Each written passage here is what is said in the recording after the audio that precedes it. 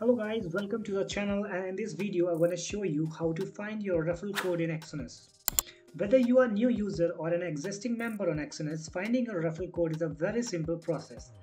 Firstly, uh, log into your Exness account using your credentials. If you don't have any, please go and sign up here. Once you logged in, navigate to the partner personal area.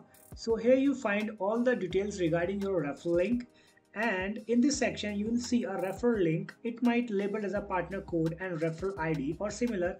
As you can see this this is the link you are getting here. And you have to copy this link to your clipboard for sharing this link.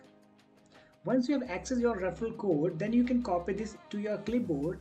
This code will what you'll share with your friend family and other interested in joining Exness or uh, using your referral link and if you want to earn money, then you, you can share this referral code through your various channels such as social media platforms, email and messaging apps. By sharing your code, both you and the person who is signing up with the code can benefit from the referral program reward. So this is how you find your referral code access and earn reward by sharing your referral code. So this is the video and if you found this video is very helpful, please don't forget to like, share and subscribe for more tutorial and tips. Thank you for your watching.